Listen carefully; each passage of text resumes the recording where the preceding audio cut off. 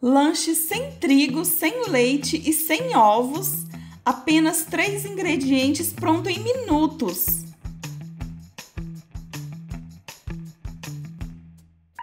Em um recipiente, acrescente meia xícara de farinha de arroz, uma pitadinha de sal, misture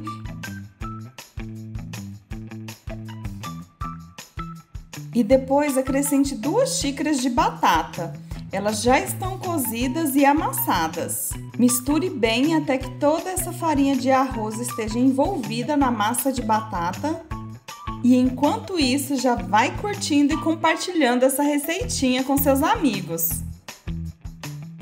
E o ponto da massa é esse, pessoal. Agora vamos fazendo bolinhas deste tamanho aqui que estou fazendo e vamos colocar em um prato. E por ser apenas duas xícaras de batata cozida e meia xícara de farinha de arroz, eu acho que rendeu bastante. E vocês, o que acharam? Feito isso, vamos pegar a bolinha, amassar na palma da mão e rechear com carne moída. E você pode usar qualquer outro recheio de sua preferência.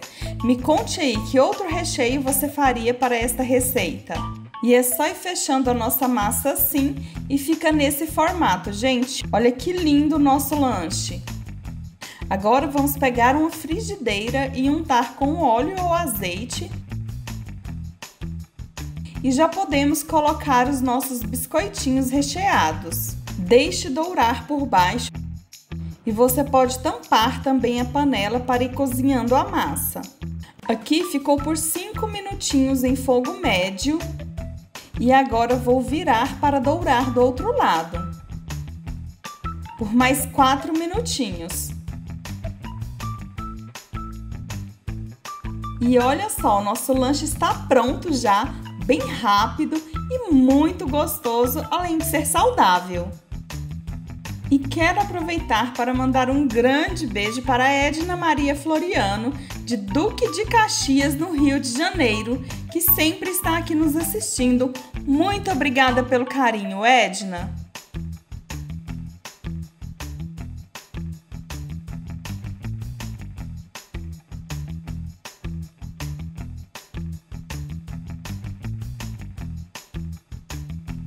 Aqui em casa não sobrou nadinha. Tenho certeza que aí na sua casa todos vão amar também.